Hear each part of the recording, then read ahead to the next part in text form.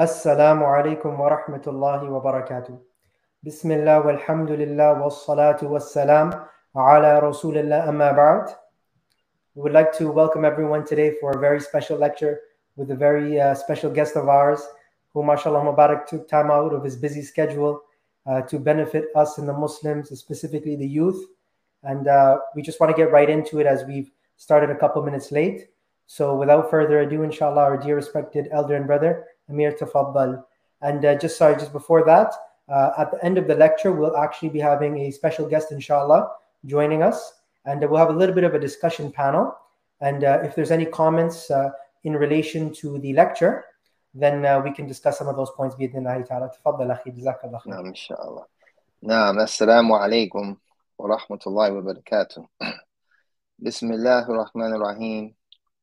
Alhamdulillah, وبركاته. بسم الله الرحمن وصلى الله وسلم وبارك على نبينا محمد الأمين وعلى آله وصحبه أجمعين My dear brothers and sisters in Islam, Alhamdulillah, may Allah subhanahu wa ta'ala continue to bestow His mercy and favor upon you and this entire ummah, inshaAllah, because only by the fadl of Allah that we only receive any benefit in this life and the next. And only by the mercy of Allah subhanahu wa ta'ala we will enter his paradise that he has prepared for the believers. So when the brothers reached out to me, alhamdulillah, as he mentioned, you know, I'm never really too preoccupied to do anything that's pleasing to Allah subhanahu wa ta'ala. So, you know, I ask that, you know, the brother accept that, you know, is a pleasure and honor to be able to do that which is pleasing to Allah by calling the people to the truth and by advising, you know, the people to remain firm upon that which is correct and to fear and abstain from that which is displeasing to Allah subhanahu wa ta'ala. So we chose a particular topic today, inshallah, titled The Virtues of Youthfulness in Islam. This is a very important matter because Islam rests upon the shoulders of the generation to come. And those who have preceded and those who strove hard to carry the banner of La ilaha illallah Muhammad Rasulullah, there will become a time, there will come a time when this will become a difficulty in some matters in regards of carrying the banner of La ilaha illallah Muhammad Rasulullah. So then this obligation and this responsibility will fall on the shoulders of the generation to come. So it's important to understand the virtues of youthfulness in this blessed deen of Allah subhanahu wa ta'ala, Islam. And the virtues of youthfulness in regards to implementing the sunnah of Muhammad sallallahu alayhi wasallam. And this is a ni'mah from Allah that we're able to gather in remembrance of Allah subhanahu wa ta'ala and to benefit one another in doing that which is pleasing to Him. So I ask Allah subhanahu wa ta'ala to place barakah in this gathering. And may Allah subhanahu wa ta'ala increase us in that which is good and protect us from that which is evil and make us from those who are the best of the people for the people. Alhamdulillah. So first, there's an authentic narration where the Prophet wasallam mentioned that the feet of the son of Adam will not move on the day of resurrection from his Lord until he is asked about five. So the feet of the son of Adam will not move on the day of Yom Qiyamah from his Lord until he is asked about five. He is asked about his life and how we spent it, about his youth and how he used it, about his money, from where he earned it and what he spent it on, and what he did with what he know. This is a very, very important hadith, and it explains in itself the virtue of youthfulness and the virtue of taking this loan that Allah subhanahu wa ta'ala has given us, meaning the very souls within our bodies, our limbs, and all that Allah has entrusted us with, that we will be questioned about these things. And understanding this will only aid you in adhering to the obligation of fulfilling the rights of Allah subhanahu wa ta'ala in accordance to the sunnah of his messenger sallallahu alayhi wasallam. And if you ponder on this hadith, inshallah, it will increase you in taqwa. It'll increase you in iman and it'll increase you in taqwa. Knowing that Allah subhanahu wa ta'ala is al-basir, He's al-samir, He's the all-seeing, He's the all-hearing. So there's nothing, nothing that will ever elude the knowledge, the sight, or the hearing of Allah subhanahu wa ta'ala. And we will have to stand before Allah subhanahu wa ta'ala and answer about what we did with this loan. So the feet of the son of Adam, alayhi salam, will not move on the day of resurrection from his Lord until he asked about five. So about his life and how we spent it. It is important, yet, Ikhwan, that we remind ourselves, starting with myself first and foremost, that we are reminded that this life is short, that this dunya is fleeing from us. So that the time that we allotted or the time that we are given, it is incumbent upon us to maximize that time in doing that which is pleasing to Allah because the final abode is everlasting. And the paradise that Allah subhanahu wa ta'ala has created for the believers who live and die upon La ilaha illallah or Muhammadan Rasulullah. And by His mercy, we will enter it. And we will spend an eternity in a state of bliss. But before that can even occur, we have to first implement what is obligatory upon us in this life. And as adhering to the commands and the prohibitions of Allah subhanahu wa ta'ala and His Messenger sallallahu alayhi wa sallam. So we'll be asked about our lives and how we spent it. In our youth and how we used it. Because many of the youth today billah, we live very, very reckless lives. And many of the youth, they have this understanding that when they live to be at a certain age, then they will adhere to the commands and the obligations and the prohibitions of Allah subhanahu wa ta'ala. For example, some of the youth believe, inshallah, when I make it to be 50 years old or whatever the case may be, then I'll start praying all of my sunnahs. Well, if I live to be a certain age, inshallah, tabarakallah, I'll start implementing voluntary fast. Or I'll start enjoying the good and forbidding the evil and so on and so forth. But this day is not promised. And when we stand before Allah subhanahu wa ta'ala, we're going to be questioned about our youth and how we spent it. And another thing that has become a fitna that is widespread is the affair of wealth. And we will be questioned about our wealth and from where we earned it and what we spent it on. So, where we earned it and what we spent it on. So, when this day comes, the wealth that we earn, it must come from a halal source. It must come from a halal means and what we spend it on, inshallah, will be in the cause of Allah subhanahu wa ta'ala. And giving charity to the masakeen and the orphans and so on and so forth, things that are pleasing to Allah subhanahu wa ta'ala, this is what we're supposed to do with our wealth. Because this is what we'll be questioned about.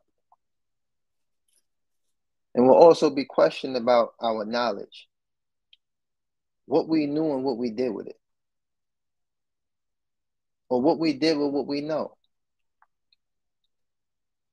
And for many of us who studied the book by Shaykh al-Islam, Muhammad ibn Abdul Wahab, rahimahullah ta'ala, the three fundamental principles, which explains the questions that will be asked in the grave. We'll be asked, who's our Lord? What is our religion? And who was the messenger that was sent? And we know in this book from the statement of Imam Bukhari, Al-Bukhari rahimahullah ta'ala, he said, Al-ilmu qabla qawli wal-amal. Knowledge precedes speech and actions. So we know that it's not permissible for us to make a statement or perform an act without knowledge. So this is one of the things that we'll be questioned about when we stand before Allah subhanahu wa ta'ala on Yom Qiyamah. So we'll be asked about our life and how we spent it, our youth and how we used it, and our money from where we earned it and what we spent it on, and what we did with what we know. In another narration, the Prophet wasallam mentioned that the age of my ummah is between 60 to 70 years of age, and the least of them live beyond that that the age of my ummah is 60 to 70 years of age. And the least of them live beyond that. So, what we derive from this hadith, first and foremost, that life is short. Life is short, yeah, Ikhwan. And even if one lives to 60, most of our life is spent in the state of being shab or being young, which is from 15 to 40. So even if we live to be 60, inshallah, most of our life is spent in the state of being young, which is from 15 to 40. And once again, this is what we'll be questioned about. So the Prophet ﷺ mentioned that my ummah is between 60 to 70 years of age and the least of them live beyond that. So many of the Prophet wasallam companions, and the best of them, were in this age group when they accepted Islam. When they accepted Islam, they was within this age group. And many of the people who ascribe themselves to the Sunnah is important for us to understand, Ya Ikhwan, that many of the companions were young. Many of the companions were young. And some of the most virtuous from the companions of the Prophet wasallam were from the Shabab. Even some of them led military expeditions in their teenage, as teenagers leading war expeditions. So when we read about some of the youth from Mu'ad, uh, uh, Mu'ad ibn Jabal or Musab ibn Umayr or Abu Musa al-Ashari, so on and so forth, there's a lot of the Shabab. Abdullah bin Mas'ud, Anas ibn Malik, and the list goes on. Many of the most virtuous of the companions were young in age. And when we look at our youth today, many of them are completely deterred from understanding the virtue of some of the companions during the time of the Prophet sallallahu alaihi wasallam in their age, and what they were entrusted with, and the responsibilities that they had to deal with. Many of the youth today billah, are oblivious of some of these matters. And it's important that some of the youth, especially the believing youth, invest in understanding what was the virtue of the youth during the time of the Prophet sallallahu alaihi wasallam and the most virtuous generations of Muslims. To understand what is incumbent upon you today. And what the youth should be focused on today. There's an authentic narration on authority Abu Hurairah radiallahu ta'ala and he said the Prophet sallallahu alaihi wasallam said there are seven whom Allah will shade on a day where there is no shade but his. They are a just ruler, a youth who grew up in the worship of Allah, one whose heart is attached to the masajid, two who love each other, meet each other, and depart from each other for the sake of Allah, and a man who is tempted by a beautiful woman of high status, but he rejects her by saying, I fear Allah, and one who spends in charity and hides such that his right hand does not know what his left hand has given, and one who remembers Allah in private and he weeps. So, this also explains the virtue of the youth. That the youth that attached themselves, that grew up and attached themselves to the masajid, those who frequent in the masajids in their communities, those who are frequent when the rules are given, what benefit is given and obtained, and adhering to the masajid, networking with the elders, and contributing to the growth and expansion of the ummah by way of the masjid. This individual will have shade on a day where there's no shade but the shade of Allah subhanahu wa ta'ala. So this narration also speaks of the benefit of the youth. And these are things that many of the youth should ponder and think about, especially in this day and time when the youth are under consistent attack from the ills and affairs of this dunya, peer pressure, you know, hip hop music, you know, sports, entertainment, all of these things. May Allah protect us from it, inshallah. But in this narration, it speaks about the virtue of the young one, the youth, who attaches itself to the masjid. Subhanallah Azim. I, I visit a lot of communities. Alhamdulillah, there's a lot of masajid around the United States that many of the youth are becoming more invested in spending time in the masjid. but it's also incumbent upon the administration of these masajid to include the youth and not alienate the youth because of some of the things that the youth may pick up in the environments that they live in. But may, may Allah bless the youth who invest their time in attaching themselves to the masjid and attaching themselves to the benefit that comes with being in the masjid. May Allah increase you and continue to keep you firm upon this, inshallah.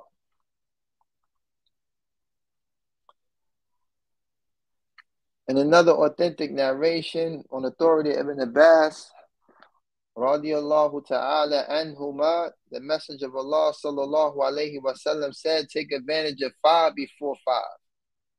Take advantage of five before five.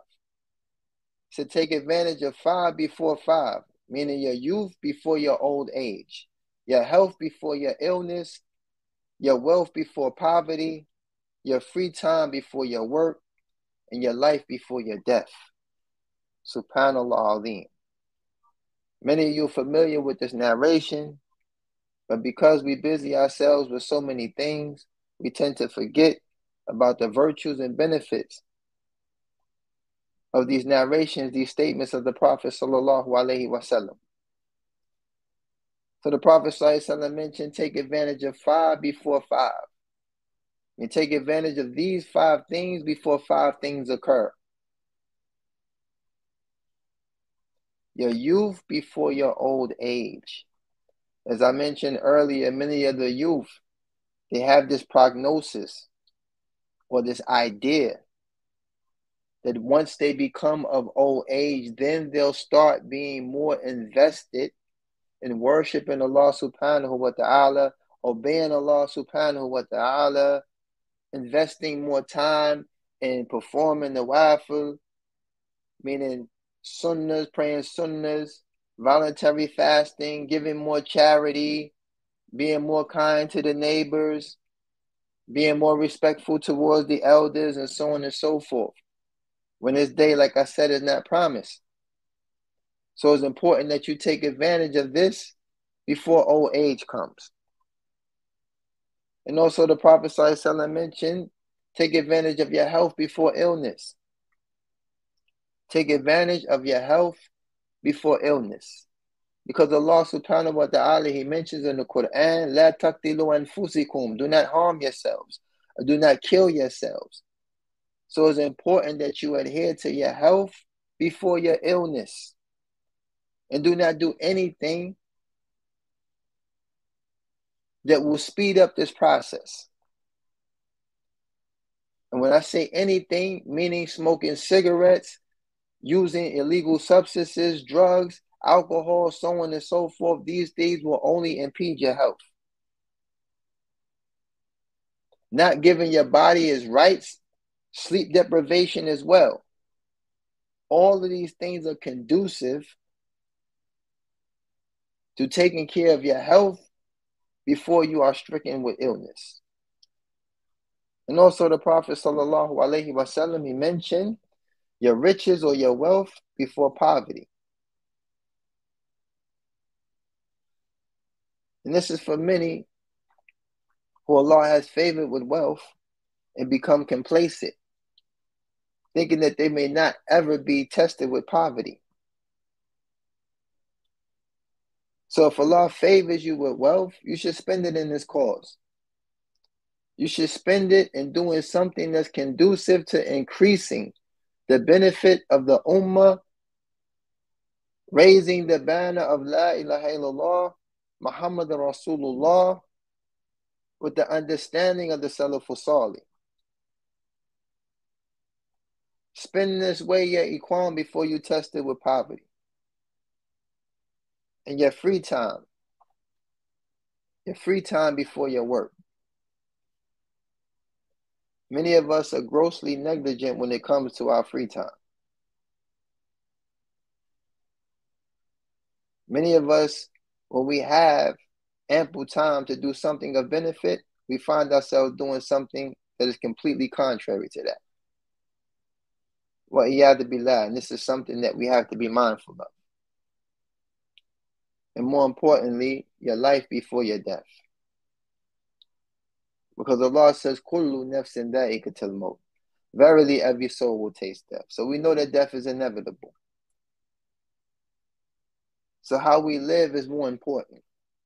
Because we know we have to meet Allah subhanahu wa ta'ala. And I pray that Allah subhanahu wa ta'ala make us from those who meet him with good deeds that exceed our bad. And may Allah make us from those who meet him with sincerity in our heart and ikhlas in our heart and iman and taqwa. May Allah make us from those who enter his paradise. Ameen.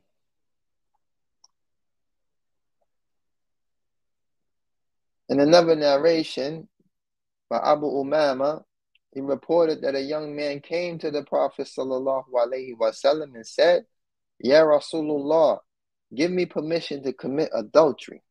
Subhanallah. It's an authentic narration. That a young man came to the Prophet wasallam and said, "Give me permission to commit adultery." And the people turned to rebuke him, saying, "Uskud, uskud, be quiet, be quiet." And the Prophet wasallam said, "Come here." The young man came close and he told him to sit down. Then the Prophet wasallam said, Would you like that your mother? Would you like that your mother? Meaning, would you like that your mother commit zina? The man said, No, by Allah, may I be sacrificed for you. Then the Prophet wasallam, neither would people like it for their mothers. Would you like that your daughter? Would you would you like that your daughter commit zina? The man said, No, by Allah, may I be sacrificed for you. And the Prophet sallallahu alaihi wasallam said, Neither would people like it for their daughters. Neither would the people like it for their daughters. Would you like that your sister? The man said, No, by Allah, may I be sacrificed for you. And the Prophet sallallahu wasallam said, Neither would the people like it if they're sisters. Then the Prophet sallallahu said, Would you like that it be for your aunts to commit zina? And the man said, No, by Allah, may I be sacrificed for you. And the Prophet ﷺ said, Neither would the people like it if their aunts. Then the Prophet ﷺ placed his hand on him and said, Ya Allah, forgive him his sins, purify his heart, and guard his chastity. After that, the young man never again was inclined to anything sinful. Subhanallah Adim. From this narration, there's so many benefits that can be derived from it. So, real quick, it just shows you, you know, the audacity of this young child, this youngster, to approach the Prophet sallallahu alaihi wasallam, not just any elder, but the Messenger of Allah sallallahu alaihi wasallam. And he asked the Prophet sallallahu to give him permission to commit zina. Subhanallah. But when you look at the hadith and you look at how the Prophet sallallahu alaihi wasallam dealt with this individual, something that many of us from the elders can take in consideration because many of us contribute to some of these atrocities. Some of us contribute to some of these atrocities by the way that we deal with the Shabab. Some of us are very rigid. Some of us are very harsh. Some of us end up doing things that turn the youth directly into the sins that we're trying to prevent them from falling into. But the Prophet sallallahu alaihi wasallam, if you look at how he dealt with the youth, the people rebuked them right away. The people's behavior was similar to some of the people today. Immediately condemning the youth for some of the shortcomings deficiencies and flaws that they possess, lack of knowledge, lack of understanding, so on and so forth, that contribute to many of the youth falling into these affairs. But the Prophet wasallam said, "Come here," meaning he was not in accordance or allegiance with the people that rebuked him. He told them to come here, and he used hikmah, he used wisdom. First thing he did was ask the young man to sit down. Ask him to sit down. Because this diffuses a lot of tension. It puts a person at ease. It puts them in a state of attentiveness. So there's wisdom in how he dealt with him from the very beginning before he even spoke. He asked him to sit down. Then the Prophet ﷺ asked him a question that will cut into any young kid, any misguided youth. Would you like, would you like this for your mother? Would you like this for your mother? Would you like that your mother commits zina? And he said, No, by Allah, may I be sacrificed for you. Obviously, this is something that he doesn't want. Then the Prophet something explained to him, neither would the people like that it be their mothers. So he's showing the contrast between extracting an understanding from within his own self and showing him in contrast that the people will also be in disagreement with this act. And then he also goes into asking about other women who play very significant roles in our lives, whether it be our mothers, our sisters, our aunts, our daughters. None of the people would like this for their mothers. No, none of the people would like this for their sisters, their daughters, or their aunts. And this is how the Prophet ﷺ dealt with them. And like I said, there's many benefits that come from this. And in conclusion, after going through these series of examples of how this would be something that would not be pleasing to himself alongside with the people, he concluded it by making dua for him. He asked Allah to forgive him for his sins, to purify his heart, and guard his chastity.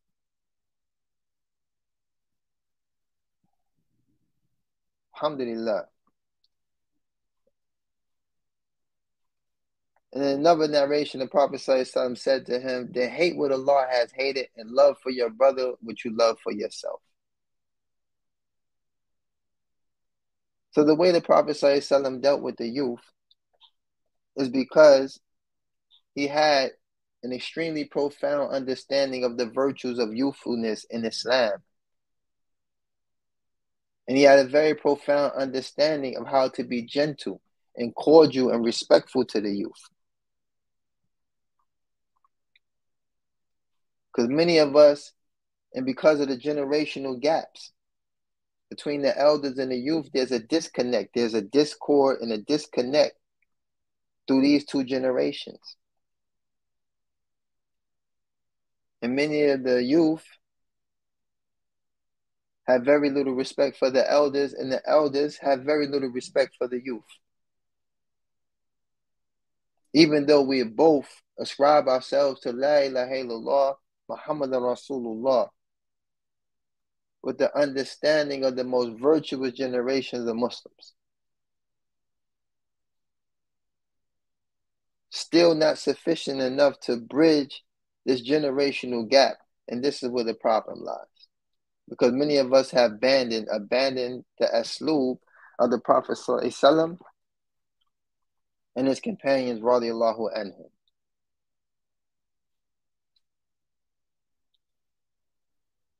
In another authentic narration, it was mentioned that indeed Allah is amazed by the youth who doesn't have an inclination towards misguidance. Now, this right here, alhamdulillah, this is a very, very beneficial nugget that many of the shabab should hold close to their heart. That Allah is amazed. SubhanAllah, Allah is amazed by the youth who doesn't have an inclination towards misguidance. May Allah preserve the youth who adheres to this statement. And may Allah make those who are misguided May Allah guide those who are misguided. Because Allah is amazed with the youth who do not have an inclination to misguidance. So once again, this goes back to the virtue of the youth who busy themselves with attaching themselves to the masajid, sitting in circles where Allah subhanahu wa ta'ala name is being mentioned and his praise is being mentioned sitting amongst those who fear Allah subhanahu wa ta'ala and stand around those who Allah has guided and blessed and bestowed upon you know knowledge upon and so on and so forth. These are the most beneficial environments for the youth today. To not only be around the elders who fear Allah and those who fear Allah, but also to choose companions who have these characteristics. Now there's a hadith that was graded da'if by Sheikh al-Albani, rahimahullah ta'ala, but the meaning is sound. So the hadith is weak, but the meaning is sound. But the Prophet wasallam said, the youth is a branch of insanity and the women are the rope of the shaitan. Now I know this hadith may stir or have your head spinning, but the meaning of this, uh, this, this statement is sound. Although the hadith, I repeat, the hadith was graded da'if or weak by Sheikh al-Albani, rahimullah ta'ala, but the meaning is that the youth squander their youth as if they are insane. And the shaitan uses women as bait on a rope. This is the meaning that the youth squander their youth. Because we already mentioned We already mentioned the hadith of Ibn Abbas radiallahu ta'ala anhuma when he said take advantage of five before five. And one was your youth before old age.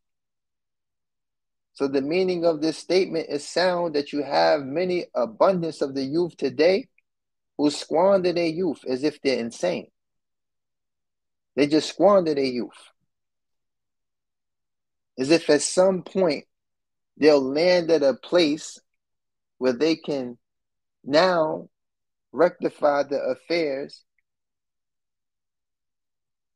that they neglected when they were young. So this squandering of the youth is an act of insanity. And the shaitan, he uses the women as bait on a rope. Now the Prophet sallallahu alaihi wasallam he mentioned that he did not leave the men with no fitna greater than the women. No fitna greater than the women.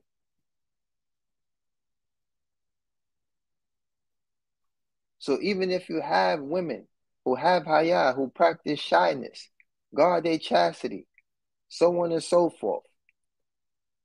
There are also women out there that the shaitan use as bait on a rope to lure men into things that are displeasing and forbidden by Allah subhanahu wa ta'ala. So as I mentioned, the hadith is weak, but the statement has meaning and it's something that we can walk away with some benefit understanding that the meaning of this statement is definitely something that conforms with the state of the youth today and even the state of the women in regards of shaitan targeting those who are deficient in iman or deficient in taqwa or deficient in understanding the religion of Islam and utilizing the women's emotions against them and so on and so forth to bait others into sinful deeds that Allah has forbid. May Allah subhanahu wa ta'ala protect us from all things evil that He ordained. May Allah subhanahu wa ta'ala protect our youth, protect our women, protect our families. May Allah subhanahu wa ta'ala continue to bestow His mercy and favor upon this blessed Ummah Muhammad sallallahu alayhi wa sallam. And may Allah azza wa jal continue to make us from those who do deeds that are pleasing to Him so that by his mercy we can enter his paradise on Yom Qiyamah. Alhamdulillah. So now to expound, inshallah, briefly before we conclude this talk, I just want to say to the youth that are listening, and those of you who are listening, I pray that Allah put it in your heart to share whatever benefit may have came from this which is solely from Allah subhanahu wa ta'ala, and anything that is said from me that is incorrect, it is from myself, my deficiencies and knowledge, and the whispers of the shaitan. Now, many of you may know my story, some of you may not. But I was born and raised in the streets of Harlem, and I found myself involved in virtually everything that I see the youth involved in today. And only by Allah's mercy, I was guided to this blessed deen of Islam, to where I stand before you today as your brother in Islam, your brother Amir, your brother in Islam, your brother in Tawheed and Sunnah, with the understanding of the companions. And this is a ni'mah, to be able to stand before you as a believing man opposed to the things that I grew up doing when I was young. And I don't like to get into details about my previous sins because the sins that are known is the things that I normally engage people in, meaning my stint in the music business and so on and so forth. But when it came for me growing up in the streets of Harlem, it was almost imperative that growing up in the early 80s, that we will find ourselves indulged in a life of crime. That we will find ourselves committing sinful acts. That we will find ourselves doing things that are complete opposition of this blessed deen of Islam. So my message to the youth My situation is justified because I wasn't guided. I didn't grow up in a Muslim home. I didn't grow up in a community where Islam was prevalent or widespread. I wasn't born or conceived by believers. I was not raised upon Tawheed and Sunnah, and so on and so forth. So it troubles me more when I see Muslims who were born and raised Muslim, nurtured and cultivated upon Islam, falling into these sinful acts, falling into this street stuff, gang stuff, drug stuff, rap stuff, whatever the case may be. This is not for you. This is not what Allah has prescribed for you. Allah, by His mercy, He placed you in the bosom of that which is good. He brought you into this world through the womb of a believer. He placed you in the caring hands of a believing man and a believing woman. So, for those of you who were born in this blessed religion of Islam, know that you will truly have no excuse whatsoever when you stand before Allah subhanahu wa ta'ala. And it troubles me sometimes when I hear born Muslims say, Yeah, I he in my Jahil days. You wasn't born Jahil. You wasn't born ignorant. You were nurtured and cultivated upon sound understanding of Quran and Sunnah with the understanding of the Salaful Salih. Or you were born and raised listening to the recitation of the Book of Allah Many of you were woke up at very young ages to pray Salatul Fajr next to your fathers, with your mothers and your sisters, forming ranks behind you. All of these beautiful things, sitting at the table with food that Allah has provided for you, mentioning Allah's name, and being able to nurture yourself with the favors of Allah subhanahu wa ta'ala. Many of you, when you, when you united or had reunions with your family, marriages, janazas, whatever the case may be, it was all surrounded by believers. So when you find yourself indulged in these things that are contrary to your upbringing, what you were taught, what you came to know, know that you will have to stand before your Lord Azza and be questioned about these things. And also for the reverse, the youth who reverted to this blessed deen of Islam. You accepted this blessed deen so that you can abandon your previous ways. Do not allow the tricks of the shaitan. Do not allow the deficiencies and weaknesses of the people to have you revert backwards to something that you already know. You already know. In other words, you already know what it's hitting for. So do not make the excuse of being a revert your reasoning for returning back to ignorance and darkness. This blessed deen of Islam rests on the shoulders of the youth. And it is incumbent upon you to seek the bounties of that virtue. To seek the bounties of that virtue of being entrusted with holding up the banner of La ilaha illallah Muhammadan Rasulullah and acting upon this.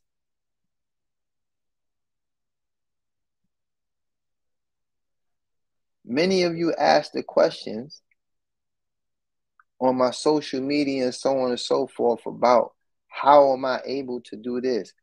Yeah, Akhi, how do you just abstain from music? How do you do this? How you do that?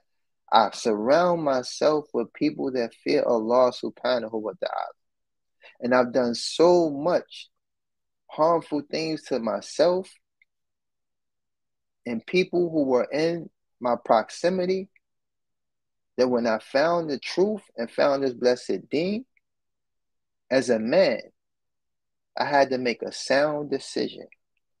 And this what separates men from boys. Men make sound decisions. Whenever you get to a fork in the road, you either can choose left or right. There's no excuse. There's no straddling in the middle. There's no putting your toe in the water to see what the temperature is. All of this procrastination is done by boys. Men make sound decisions. When you face with an evil, you choose what's better than that. If you face with two evils, you choose the lesser evil. But at the end of the day, you make a choice. And I mentioned this, and I'm going to say this in closing from another talk that I, I, I gave, is that there are two types of leaders in this world. It's those that lead and those that mislead. Those that lead and those that mislead. So for the Shabab, I challenge you. I challenge you to be those who lead upon goodness, upon righteousness and uprightness, opposed to being those who mislead. Because either way you look at it, you're a leader. Whether you choose to lead or you choose to mislead, you will be held accountable for your flock. You will incur the sins of those who you lead. And you will incur the benefit and the goodness and the reward for those that you lead upon goodness. But those that you mislead, you will incur the sins and the bad deeds that follow them. So I say this to say as a benefit, as a reminder to myself, may Allah subhanahu wa ta'ala protect us and make us better. Make us better fathers, make us better husbands, make us better sons, make us better brothers, and make, make us better neighbors. Make us the best of the people from the people. Because as Muslims, this is what we're supposed to be. And a lot of this rests on the shoulders of the youth. And don't be afraid to take these responsibilities on. Because your youthfulness is all that you need. You have the energy, you have the strength, you have the resilience. You just have to increase in beneficial knowledge and all of the tools that you will need so that you can carry the banner of something that's more weighty than anything in this dunya. And that is the statement of La ilaha illallah. La ilaha illallah is more weighty, more virtuous, and more beneficial than anything in this dunya. So ask Allah to make you from those who do deeds that are pleasing to him. And may Allah subhanahu wa ta'ala protect you from all things evil that he ordained. سبحانك الله وبحمدك أشهد أن لا إله إلا أنت أستغفرك وأتوب إليك Jazakallahu khairan wa barakallahu feek wa shallallahu mubarak.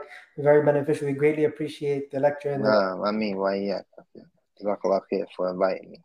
Uh, uh no, it's, alhamdulillah, it's, it's, definitely a pleasure and an honor for us and all of the viewers. And subhanAllah, there's many, many beautiful things which you said in the lecture that we could literally go point by point to analyze and discuss.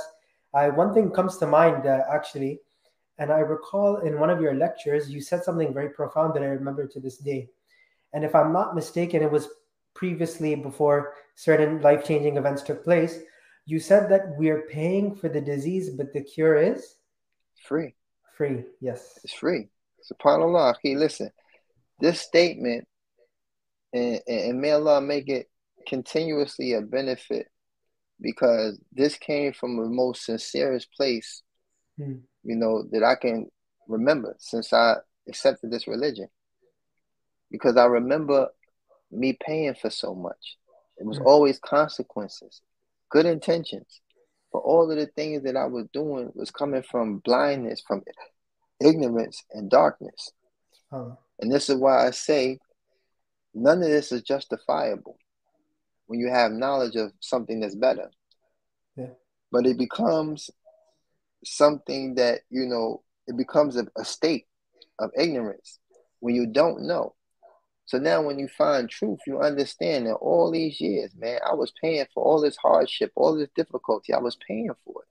Whether it be with wealth, whether it be with my time, whether it be with my, my physical body, you know what I'm saying, so on and so forth. I was paying for it. But Islam came free.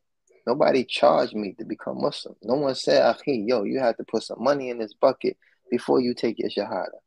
SubhanAllah. Akhi, listen, you need to come back. You ain't got enough money right now. You know what I'm saying? When you come back, for XYZ, then you can take your shot. Yaki, you know what? Uh, Your clothes is not sufficient. You need to go get you a new outfit, and then you can take your shahada. None of this took place. Yeah. Islam was free, Allah. and everything that followed was free. This knowledge is free. You understand? And, and, and, and the benefit is free. Having companions that fear Allah is free. No one that fear Allah is going to charge you to be their companion. Good point. Very good point. No one is going to make you feel uncomfortable about being a companion unless you're trying to deter them from fearing Allah. You know?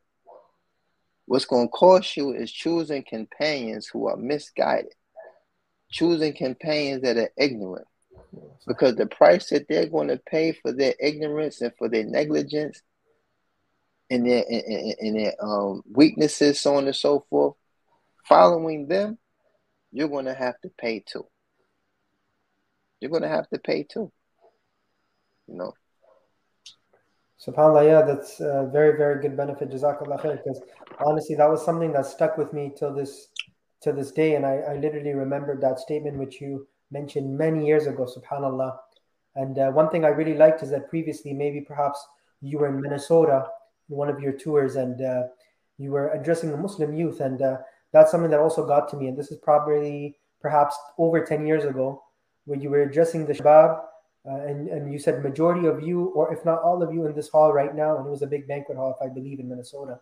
They were all Yeah. Muslims. They were all they Muslims. were all Muslim, all born Muslim, all from East African descent. Allahumma barak. You know what I'm saying? Alhamdulillah, I done, I done visited a lot of communities, whether it be a Somali community, whether it be, you know I'm saying, Bengali community, Pakistani community. The one thing that I've learned is the commonality of the plight of the youth. Yeah. And this is where I put my focus.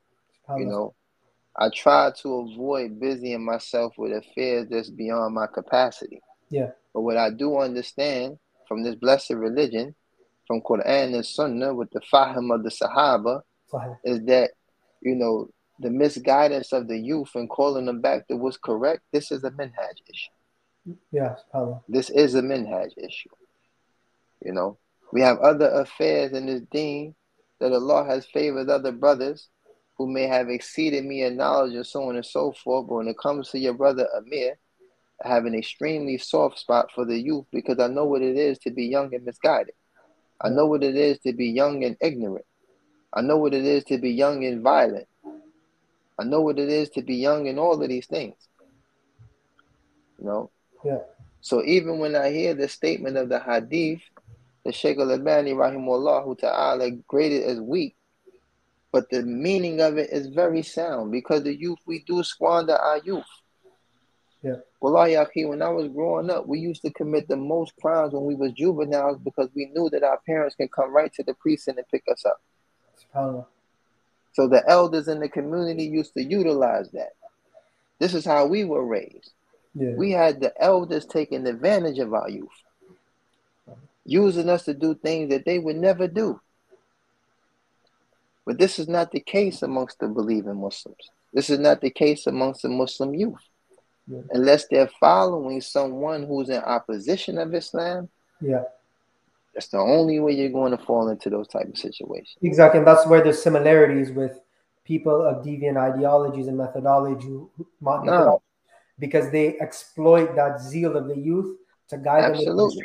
path. Exactly. Absolutely. And this is why I urge many of the brothers, may Allah reward you for your good, but many of the tulab, many of the people who have been trusted with the imamate and so on and so forth, you have to put more focus on the youth. I know sometimes we fall into situations where the masjid is in jeopardy and so on and so forth, and you know, funds got to be raised. I understand all of this. Alhamdulillah, may Allah make it easy for all of us. But in all actuality, sometimes when you place your attention on something else that is pleasing to Allah, Allah will re- rectify the affairs that you give precedence over that. You know, Allah will Allah will rectify those affairs. He'll make those other affairs easy. But sometimes because we become so immersed in other matters that we miss we miss, you know, opportunities to do an abundance of good. No. And that's a human deficiency. I would never grade that as something that someone is deficient in their religion. No, those are human deficiencies because sometimes it becomes difficult with the adversity or pressure that comes with, you know, governing certain things or being responsible for certain things. And as men, we fall short. Sometimes we fall short, you know, and we lose our youth. You know what I'm saying? We lose our daughters, we lose our sons, we lose our nephews, so on and so forth. And next thing you know, because a lot of times, you know, I've been to some communities, you know, may Allah make us better, um, where they, they they put together these these tahfid programs and they think that's sufficient just to leave their kids there. Yeah. Or they build basketball courts and the kids got basketball to play, so they just leave them and busy themselves with that. And we go on to fundraising and all this other crazy stuff, and it, it becomes a negligent thing. Yeah. It becomes something where the, the elders become complacent.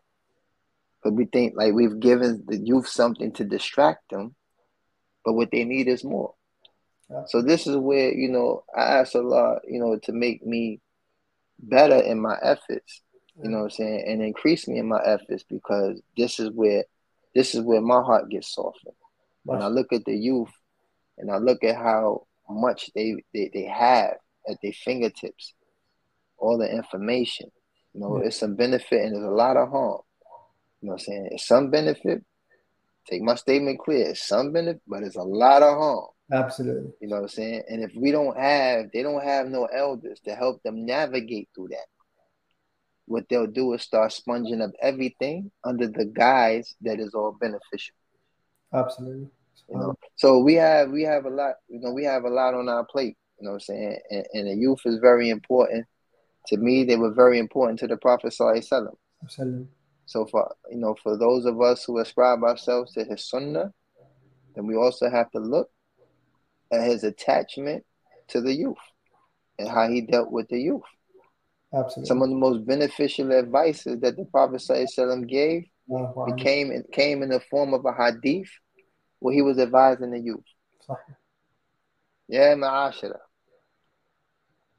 Yeah, Muad. You know, he always was calling on the youth. And those are some of the most profound advices that came from the Prophet Sallallahu when he was advising the youth. When he was being attentive and being patient with the youth. So inshallah ta'ala for the youth, you know, that that that, that you know, you know, witnessed or was able to benefit from this talk. Also, don't be ashamed to ask. Don't be ashamed to approach some of the elders. You know what I'm saying? For those of you, you know your community. You know the brothers who fear Allah. You know the brothers who invest their time in doing things that are beneficial. Don't be afraid to pull up on them. Because y'all pull up on Fulan, Fulan, and he ain't on nothing. But y'all have no fear pulling up on him. But you don't want to pull up on the brothers that's upon good.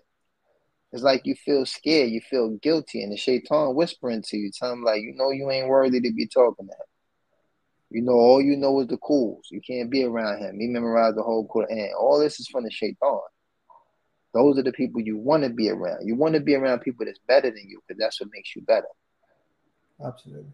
You know, a lot of times people have these insecurity issues, you know, but they ignorant and they want to be around somebody that's more ignorant than them so they can feel less ignorant. You stupid, but you want to be around somebody that's dumber mm. so you can feel smart. But the only thing that's gonna make you better is when you're around people that's better. And sometimes you gotta let go of your ego. Absolutely. Because I know me, I take Quran lessons from a six year old. Wallahi, I mean. A six year old got time to offer, and I got time. I will sit down and learn the book of Allah from a six year old. No pride, no ego. Because I want to meet my Lord in the right state. And that's important. You know, we all not going to be students of knowledge. We all not going to be scholars but we can be the best Muslims that we can be. Absolutely. Especially in this day and time. And Absolutely. the youth have so much influence. Well, Yaki, I posted something the other day with, you know, Noreaga and um Juelz Santana. May Allah guide them. Um, he was on the drink champs, you know, referring to me. And the impression that was made on them from two guys that know me from my previous life. Mm-hmm and seeing and acknowledging, you know, who I became. Allahumma barak. You know, and that comes from being steadfast upon what's correct. We are the most influential people on this planet. Everyone's talking about the Muslims. Everybody's trying to look like the Muslims. Yeah, for real. For real. That's you know what I'm saying? Hundred So, percent. Yeah. so, yeah. So why you want to look like the rest when you can look like the best? Exactly. Even things as a as it relates to uh, you know these uh, graduation gowns, the origin of it, that type Yeah. of show off and honor, and other things. Many things uh, people don't realize in terms of uh, don't realize it from innovation and technology. Yeah, subhanallah, this come from the origin is from the Muslims and comes from Yeah. Islam. In some aspects, they've taken that from our cultures. That's why we should also be proud from the positivity in our cultures and take the good stuff from it. And that was Yeah, the deen. We leave that. yeah. Shabab, man, you gotta be leaders, man. I went to the perfume shop. Everybody got everybody got oud. Yeah, Gucci got. Masha, Roberto exactly. Cavalli, Ty ruled. Tom Ford got oud. Old Bishop, Oud Wood. I'm like, look, hey, come on. If you can't see it, Yeah. how much influence and how much barakah Allah has placed in this deen in some of the most tumultuous times, Subhanallah. Islam still shines Absolutely. and it's still affecting the people right now as we speaking. So who don't want to be a part of that? Like, who don't want to be a part of that? Yep. All the athletes got beards now. Yeah. Everybody got beards, yeah. you know. So how did I? I mean, you know, Barakallah. For- yeah. Well, I think about lot, man. I don't want to take up much time. No, no, no. We're taking some time. We're gonna actually just introduce our guest for a little bit, and we won't do it too take it too long for anybody Inshallah, we don't No, want to inshallah. a nice discussion. So we'll get some insight from our brother. Um, our brother, our special guest uh, for today is uh, Akhi, open your camera, inshallah. حياكم الله Ah, Allah. Ayakallah. Assalamu alaikum. Alaikum warahmatullahi assalam. wabarakatuh. وعليكم السلام ورحمة الله Abu وبركاته Saleh. حياكم الله How's everything أخي Alhamdulillah, mashallah, Alhamdulillah. Jameel, ah, mashallah, good to see your face, man. Yeah, likewise, likewise, akhi, barakallah fi. Alhamdulillah. You know what's crazy? Wallahi, I, uh, I kid you not. Mm-hmm. I used to be good with faces and bad uh, with names. I do. I became Muslim, alhamdulillah. I know every Abdul Rahman.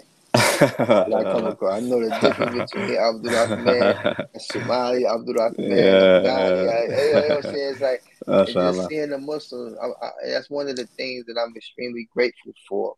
Is that Allah truly unites the hearts of the believers. Yeah, definitely. You definitely. know, when you see a brother you haven't seen in a while, it's almost like you haven't seen them in a lifetime. So, yeah, definitely. So I ask Allah to make this, you know, far from the last time definitely. I'm able to, you know, Amen. your face. Inshallah. Likewise, Akhi. Barakallah.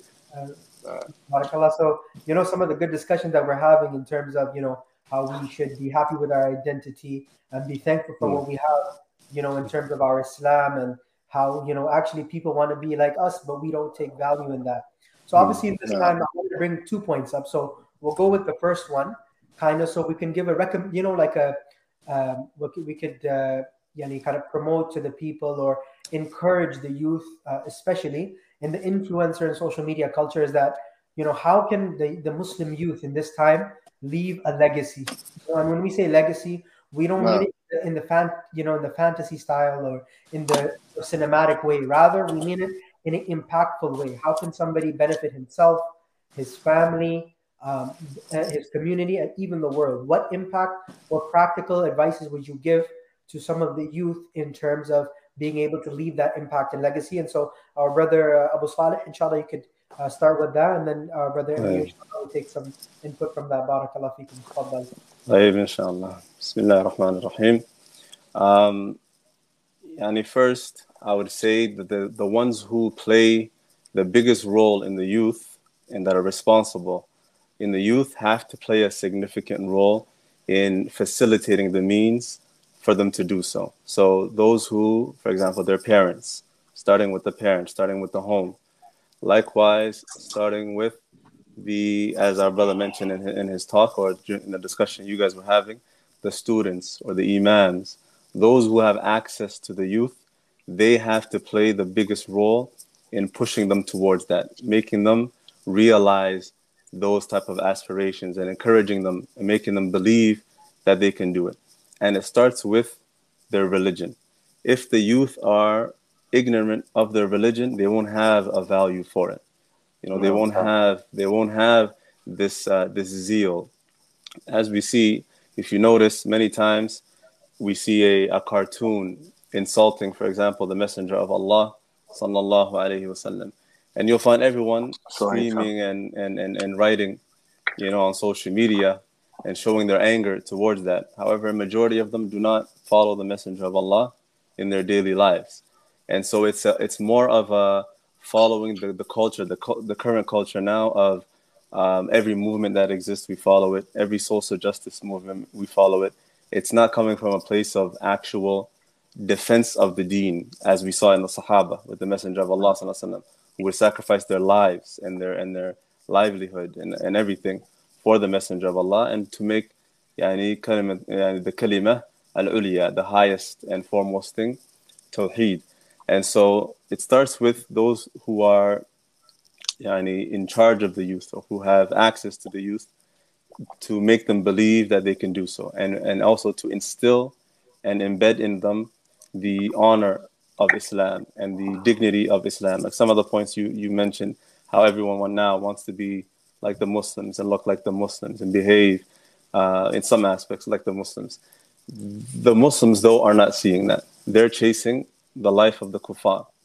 And subhanAllah, the non Muslims see the honor in Islam. You'll find non Muslim men, you know, on the, on the corners. If a half naked woman walks by them, you'll see them how they harass her and, and everything. But a sister who is covered, they'll make way for her and, and, and stand back. That's the honor of Islam. So. And subhanAllah. And if our sisters were to know, know and, and realize the honor in Islam, that honor in Islam, then they wouldn't be, you know, revealing themselves all over social media and, and following the disbelieving woman. The disbelieving woman herself is lost, looking for, you know, uh, guidance and protection and so on and so forth. And our sisters are running in, in, in the other direction. And so it begins with, like I said, those who are in charge of, of the youth or have access to the youth, starting with the home, the parents, that they have to be the first and foremost ones. And it also comes from the the the realization that you have something more valuable than anything else in this in this in this world is is your religion and is your is your deen and there's a statement that um, Umar ibn Khattab a famous statement that he has where he said that indeed we were a disgraceful people يعني إنا كنا أذل he said we were from the most disgraceful of people he's talking about in Jahiliyyah before Islam he said, فَأَعَزَّنَ اللَّهُ بِالْإِسْلَامِ And Allah then honored us with Islam. فَمَهْمَا نَطْلُبُ الْعِزَّةِ And he said, and regardless, if we seek in honor in anything other than Islam, يعني بغير ما أعزنا الله به, in, in other than what Allah honored us in. If we seek, and whether it's another religion, whether it's another way of life, whether it's following a celebrity, whatever it is, if you seek honor and, and status and happiness, whatever it is that you're looking for, in anything other than the thing that Allah honored you with, which is Islam, then He said, Allah bihi. Then Allah disgraced us by way of that. Subhanallah. And so that that that narration of Umm al-Khattab is is a reminder, something that youth should have on their minds that they already have, the Muslim youth, they already have the thing that everyone is seeking.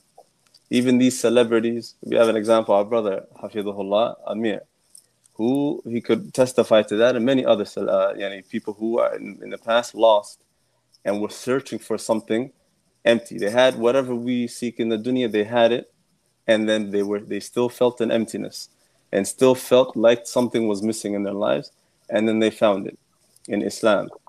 And so that thing is is what you know as we as as our brother mentioned we have to remind the youth always of the significance of this religion um, and the importance of this religion in their lives and that they must leave behind because as, as in the beginning of our brother's talk mentioned death and that all of us will will taste death and we will leave something behind all of us will be leaving a legacy behind a legacy simply means something that you leave behind after you go away no, and after you pass it'll be either good or evil.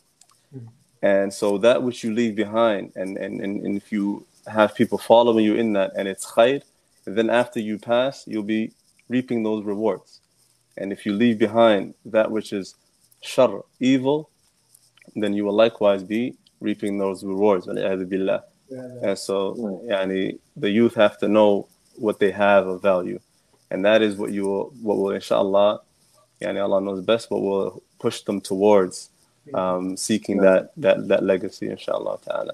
A good legacy. No, barakallahu Yeah. feek. Jazakallah khairan. Yeah. You know Yeah, that- now I agree. With, I agree with the brother Hey, Afwan, in regards to A- Afwan, Akhi, I wanted to mention uh, what our brother Amir said. Just wanted to mention Mhm. something, the two things he said that was really nice. The difference, uh, uh, good. Dis- everyone is a decision maker. No. You have a choice. You either make the right decision or you make the wrong one, and that's what separates them. Boys from men. them.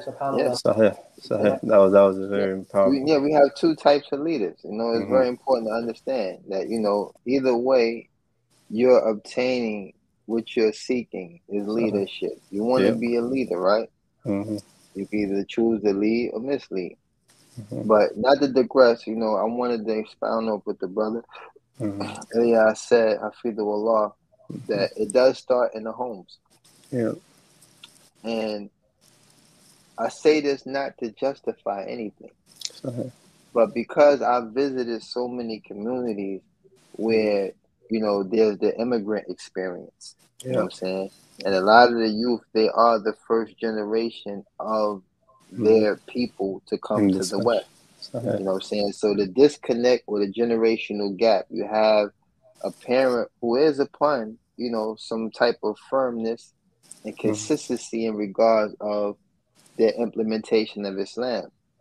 Yeah. But the thing is, in order to maintain stability in the homes, the parents, because of you know the strenuousness of what work entails in this country, Yeah. Opposed to the country that they come from. Mhm. Because you know, I visited a lot of Muslim countries, and it's like Yeah. you don't have to work 17, 18 hours a day Yeah. Yeah. to take yeah. care of family of five kids, a wife, and so on and so forth. Mm. So these are Mm. things as well that we have to look into as well, and and, and, you know, kind of couple the necessity Yeah. of addressing these matters because they work hand in hand. Yeah. So I say it like I said, not to justify it, but I Mhm. have, you know, found some sympathy Yeah. for you know people coming into a country Mhm. firm upon a certain way of living Yeah. and having that challenged in Yeah. order to obtain stability for the home. And then with that being such a distraction, the children are left to fend for themselves. Yeah. They encounter all these experiences not as a family, Yeah. but as an individual. Yeah. Going out, mixing in public schools, trying Yeah. to seek education, and so on and so forth, whatever the case may be, they're experiencing these things on their own. Mhm. But this is also not an excuse. Yeah. It's just something that has to be, It's a. It's a. you know, attention has to be paid to. it- yeah. And this is something that, for those who are entrusted with the affairs of the people, they have to invest a lot more time in helping structure the homes or restructure the homes. Yeah. You know what I'm saying? Because it's easy for us, you know, to identify with the source of the issue. hmm But when it comes to the remedy, Yeah. it takes a community. Definitely. Yeah. It really takes a community. It doesn't. It's not something that rests solely on the shoulders of the parents, and it doesn't rest solely on the shoulders of the of the youth, Mhm. you know, so or the children. Mhm. It's a collective thing that whoever's entrusted with the affairs of the people, because they're the Mhm. ones supposed to have the most free time So, uh, yeah. when dealing with the affairs of the people. Yeah. But unfortunately, they also have responsibility. So Yeah. it's like a lot Yeah. of stuff Yeah. that you know web. I look at, and that's why I said it takes brothers like us, you Mhm. know, to take and invest our time in trying to step up. You know what I'm saying? Trying to step up and be a little bit more assertive when Mhm. it comes to dealing with the youth. Because Yeah. the brother is right. Absolutely. It starts in the homes. Mhm. But also the community has a responsibility. I Definitely. mentioned this in one of my talks, like growing up as a kid, I understood what that means even before Islam Mhm. because we were governed by all the adults. We were more Mhm. afraid of the adults in the community than we were the Mhm. police. Yeah. You know what I'm saying? Yeah. Like I'm talking about when I used to get in trouble with school, My Mhm. first lick came from the school crossing guard. She would literally cross me across the street and then hit me upside the head. And I heard, I heard what you did. She telling me the whole time she crossed the street. I heard about you in school. I heard you. Your grandmother's such a nice person. Now get your butt across the street. That's the first lick. Now all the way to the crib, I'm hearing, hey, yo, I heard it, but we. Mm, Everybody, yeah, by the time you got home, it's like Yeah, you yo, already got it. never doing that again. You know yeah. That's too many handprints on. You know yeah, saying? yeah, Too many fingerprints, too many chefs in the kitchen. yeah, You know what I'm saying? By the time you get home, you already cooked. So it's like Yeah. these are things that are implemented yeah, in some of the lands Yeah. that the youth come from. definitely, yeah, You know what I'm saying? yeah, Your father's Abdul Rahman, he's a love, he's a pillar of the community, and you're Yeah. trying to, you know, you yeah, everybody's gonna be on your head yeah, yeah, because definitely, they know that Abdul Rahman is good to you. You yeah, know that your mother, alhamdulillah, is good to you. They know that Mhm. these family do everything and anything to take care of you. yeah, You know what I'm saying? So Mhm. everyone becomes concerned. definitely, And that reciprocates throughout the whole community. yeah, You know what I'm yeah, saying? So, you know, this issue is not something that's light, yeah, yeah, you know, and like I mentioned, and, and not to like, you know, try to stir the pot or shoot Mhm. no shots. Mhm. But I do see a lot of brothers that's busy with so many other affairs yeah, that do have that do take precedence in Islam. Yeah. But because some brothers are overly invested in some of those affairs, mm, they're missing out on some Yeah. pinnacle things yeah, that are truly affecting our community. And that's, you know, lack of attentive to the youth and their needs and what they need. mhm, You know, they Mhm. need big brothers. They Yeah. need some of us, you know, saying to walk with them to school, mhm, chop it up with them, and not always Yeah. be admonishment. Because admonishment all the time doesn't really resonate, and that's why I chose a particular hadith that I mentioned about Mhm. how the Prophet Sallallahu dealt with a, a youth that Youth. came to him and asked him for permission to commit zina. yeah, You can measure that request with Mhm. some of the craziness that we see today. of course, of course, You know what I'm saying? You Yeah. got kids asking similar stuff with underlining meanings. Like, can I Yeah. go over the, you know, Yeah. like I go over the Abdul Hakim house. Hmm I know what Yeah. Abdul Hakim doing. I know what Yeah. they're doing over. You know what I'm saying? So it's yeah, like it's no different than blatantly asking, of, of course, give me permission to commit Yeah. zina. yeah, You know what I'm definitely, saying? Or giving me permission to go into an environment that's harmful Mhm. for me. yeah, No. exactly, Can I please go to the such and such? You know what's Mhm. happening there. yeah, The youth over there is not all Muslim. They're over Mhm. there smoking weed, They're over doing this and that. yeah, You know what I'm saying? But because there's other Muslims that got permission to go, Mm. Now you Mhm. want to follow them. And that's why I say, you know, your peers play a very significant role as well. So Yeah. alhamdulillah, you know, I could do this all day because I love the youth. You know what I'm saying? I love Islam. And, Yeah. and I really like wanted to point something out too as well. And, and, and, I, and, I, and I, you know, Pastor, um, I started something on Instagram called the Halal Drip Shop. You know what I'm Mm. saying? What started off is just me, the brother Umar, Stack Five, Tone Trump. You Mhm. know, because I, I I can be patient with the Muslims. I, I spent nine years in federal prison. You know what I'm Mhm. saying? I learned to be very patient with the Muslims. Mhm. You know what I'm saying? Because in, in, in, the prison system, the Muslims are really, you know, one phone call, one email away. You know what I'm saying? From abandoning ship. You know what I'm saying? yeah, Holding on to the rope of Allah is like, you know, like the Mm. Prophet say something says, like holding on the hot coal. yeah. A lot of brothers still dealing with 30 year sentences, not being, you know, kids um, growing up without so on and so forth. So it's Mhm. like holding on to Islam is something that's very, very serious. So Mm-hmm. anyway, you know, um, subhanAllah, lost my train of thought. the, the halal drip. Halal drip yeah, the halal drip joint. Mhm. So basically, it was to show the Shabab that, Mm. alhamdulillah, you could still be fresh and be Muslim. Yeah, yeah, You know what I'm saying?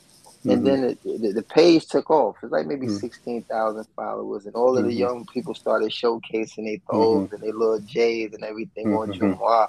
And it became something widespread. Where I'm posting kids from Jordan, from over here, over there.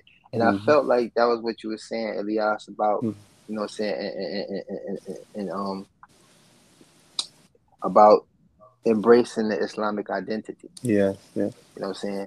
Because when it comes to this matter, and I don't want to be winded, But it's very important for us to understand, and I mean everybody on this, you know, call can Mhm. contest to this. Yeah, And when it comes to the Islamic identity, it's not Mhm. just one identity. of course. You know what I'm course. saying? If you, you know, y'all brothers been to Saudi before, inshallah, you know, Mm. if you walk around with an izar, that's like Mm. wearing underwear outside. Yeah, yeah. Yeah. You know what I'm saying? I've If done you was that. in Yemen, yeah, and if you was in yeah. Yemen, you straight. Yeah, You know what I mean? You you Yeah. you, you styling at all You styling, hundred you know what. I'm saying? 'Cause you Yeah. got a lot of parts of West Africa. Your stuff Yeah, don't look shiny and bright. Yeah, yeah. You know, you looking out of pocket. yeah, Then you got, you know, the Pakistanis, they gonna wear shalwar with kameez and so on and so forth. So it's like this is what also has to be taught to the youth as well. Definitely. Yeah, definitely. Because sometimes the barometer set for our identity is the Yeah. student of knowledge. Yes, You have to have an all white crispy thobe. You have Yeah, have and the nice. Mont Blanc, Yeah, Mont yeah. Blanc pen. You got to, you know what I'm Yeah, saying? You got yeah, the, the, the, the imam or something, Yeah, like man. the Ghutra or whatever. It was uh, like, this, you know what I'm saying? This Yeah, becomes the yeah, yeah. epitome of our identity. yes, yes. So I always like to refer back to Philadelphia because Yeah, African Americans, yeah. You know, having a stronghold in Islam. Mhm. Philadelphia is Yeah, hundred percent. at the, you know, at the pinnacle Pinnacle. of that. Yeah, yeah, You yeah. know, and I always mention this in some of my talks. When I go to Philly, I don't give salams. I wait for salams to come to me. Yeah, yeah, yeah. You know what I'm saying? Because I've hurled salams out in the air, every time, uh, nah, Yeah. nah, I, I, I ain't Muslim. I, Yeah, you know, my cousin. Muslim, or nah, the ball Muslim. I, you know, it's like, hold Yeah, up, y'all all look All Muslim. look Muslim, exactly. Yeah, And yeah. that just shows you that the Muslims can have that much influence in the Yeah. community that even the non-Muslims can Definitely. openly hmm imitate us. Yeah. When you're talking about secretly, Yeah. you know what I'm saying, or take a little bits and pieces, we're talking about Yeah. openly just imitate us Yeah, yeah. from head to toe. Yeah. You know, so when I visit places like Minnesota, Mhm. Seattle, so on and so Yeah. forth, where you have predominantly, you know, Somali East Af- communities, I'm like, man, y'all really literally the only Muslims here. Yeah, yeah, yeah. So if y'all don't like, I mean, Mhm. these people are seeing the invasion. They seeing y'all Yeah. coming through in abundance. Yeah, y'all got yeah. three, Mhm. four, five, ten cousins coming in every month. Just get, get, you know, y'all Yeah. buying little strip malls, yeah. businesses showing up. Yeah. Even y'all some got y'all restaurant got no no English, just Somali, Yeah, so Somali on and on so it. So yeah. it's like, yeah, so it's like these are the things that I see as an empowerment. Mhm. And it's the same thing when Pakistanis come to community. Yeah. They buy up the masjid, they get the Yeah. masjid, they buy all the houses Yeah, yeah, surrounding yeah, area, surrounding. they got the pharmacy, Yeah. doctor's office, everything, you know what I'm saying? So it's like these are things that I feel that the youth need to be involved in. And I always stress this. I think me and you had this conversation as well about the administration Mhm. involving the youth in things that have to Yeah. do with the masjid. Definitely. Yeah. Because that is the flagpole. Yeah. That is the headquarters. That's the seed that's being planted in that particular area for Definitely. Islam. Definitely. Everything that spreads from there comes from the house of Allah, comes from the masjid. Definitely. Definitely. You know, and if the youth not involved with that and they just get put to sleep with a basketball court or something to Mhm. preoccupy them, Yeah. know That, what I'm that's saying? like you know, administ- uh, administration meeting should have some youth in it. Yeah. They should know what's going on with their lives when, in real time. Exactly. Exactly. Not somebody pull them to the side. Well, you know, we're thinking about doing this, Yeah. or we're going to do this. Yeah. Like I don't got a choice. Yeah. Like I don't have no option, no Yeah. opinion. Like I can't you- say nothing. Like maybe I want to, you know, Yeah. maybe we want to want to play soccer. Maybe we don't Yeah. want to play basketball. Exactly. we want to exactly. swim. Like you Yeah, didn't even yeah. ask us. You know? Yeah. Yeah. So, you know, yeah. those are the things that you know because they not only been home july make two years for me i think it's Mhm. still surreal for me i'm just happy Mhm. to be home happy to be able to do something that's beneficial you know Alhamdulillah. so on and so forth but it's like Mhm.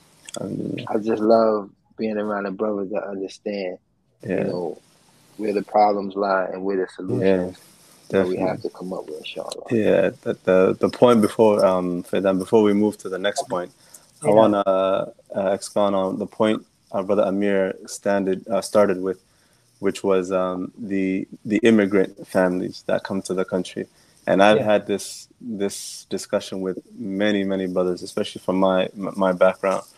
We all share the um, you know similar things. Is the the the disconnect that exists between the parents the point you mentioned about the community back home you know, I, I wasn't born in Canada. I grew up here most of my life, but I came here when I was two years old. Actually, I lived in Harlem before Toronto. Actually, in the nineties, yeah, before even, even before coming to Toronto. And uh, but when I was in Africa, I would uh, leave the house two years old, wander around, and reach another neighborhood, and someone would bring me back home. That's how close the community was. And and our parents came to these countries not knowing the dynamics of the West. And Yeah, so and so now when they send you like back home, if you would send your child to school, you could it's somewhere you trusted. And they came here thinking better education, better this, better that, not knowing the harms that existed. And they would send us to school thinking it's a place of trust. And so when we learn the things we learn and our culture is also changing, they're not even noticing. They're not understanding. Christmas is a foreign, you know, concept to Somalis. And Yeah. in fact, it's a foreign concept. Yeah. You know, Santa Claus, never heard of these things. But then you come here and that's celebrated in class when you're in kindergarten, grade one. Um, all these different things, all the different holidays, all these different things. Um, there's a culture. Your your their child is is is learning another culture, assimilating, and they're still upon what they're upon. And so in the beginning, it's innocent, uh, meaning gifts and you know buy toys for kids and this and that. But once they reach even before middle school, it starts becoming creed, it starts becoming beliefs, Uh, and and these are the things the parents are not educated on, whether it e- even from the angle of just not knowing English, they don't even understand. You know, many majority of our parents that came to these countries don't even understand what it is that their child is learning. And you know, what's the problem with giving gifts? We came to Canada eating pork, not knowing it was pork, subhanAllah, because we couldn't read the label when we first came. We couldn't read what it was. And I know my, I didn't know I was young, but my parents told me that. And subhanAllah, so we dealt with those things. And now what we see, the result of that, um, you know, youth having no connection with their parents um, and the destruction of the home, whether it be the society, whether it be the, the governing system and how they deal with families, you know. Um, but this this is uh, like when we say, you know, it starts with the home, that's just a general statement, you know. But even within the home, there's so many different layers that have to be tackled to find a solution for the Muslim youth. Um, it even differs from culture to culture. Pakistanis have certain, you know, uh, things that maybe Somalis don't have, and Arabs have different, you know, things. Uh, so it's a big thing, and uh, like our brother said, there's a lot, there's a lot that needs to be, you know, um, discussed and and uh, and and dealt with, and not just as you said, you know, a lot of brothers are busy with other things, um, a lot of the time, and then there's a negligence, and uh, sometimes that negligence is what even alienates the youth. Um, you mentioned harshness, but sometimes when a youth finds no place for them themselves in, in the masajid, when you see masajid, only elders are there, and just a couple of kids who you know were were fortunate enough to have um, practicing parents, and that's why they're there. But the majority of the youth are not there. You know, they're not there, and they don't have someone who understands. One of the points I, I had written actually was that the imams and uh, you know to be a, a leader in a community, a, you know, Islamic leader in a community, it is no longer sufficient to only know the deen, meaning the ahkam in the religion. No, sorry. You know, it's not sufficient. You have to know what's actually happening. Why are the youth astray? Back in, in my time, when I was younger in high school, you would find Muslims sinning and, and, and things like that. I know our brother mentioned, and somehow that part affected me because I wasn't always practicing myself, and I, you know, I had a past, and there was no justification, um, you know, for why we were choosing other than our religion. But um, the time in, that I even lived in, let's say the high school for me was um, early 2000s to mid 2000s. Um, that time you found Muslims sinning, but you didn't find, you would find them like if you give them a reminder, oh brother, you know, make dua for me. Or sister would say, you know, brother, make a dua, I'm struggling.